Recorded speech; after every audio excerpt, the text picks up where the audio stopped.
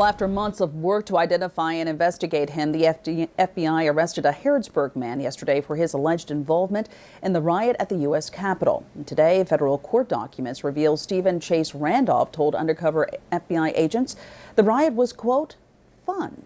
LEX 18's Karolina Buczek joins us now with details. Yeah, this criminal complaint filed by an FBI agent not only describes what the feds believe this man did, but it also has photos showing him allegedly doing it.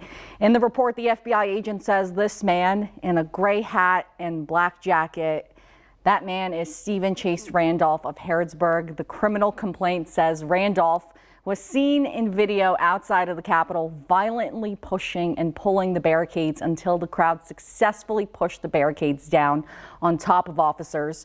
The report also says Randolph and others knocked over a Capitol police officer, causing her to hit her head on the stairs behind her, knocking her unconscious. And the FBI agent goes on to write that Randolph continued to assault two other USCP officers by physically pushing, shoving, grabbing, and generally resisting the officers. So how did the FBI figure out who this man was? They say they used YouTube and Instagram videos as well as Twitter posts that show a clear face image.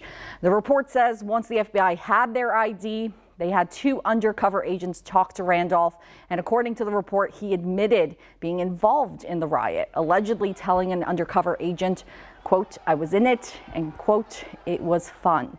Randolph was arrested yesterday and held in federal custody. He's at least the 13th Kentucky resident to be arrested over allegedly participating in the Capitol riot. Back to you.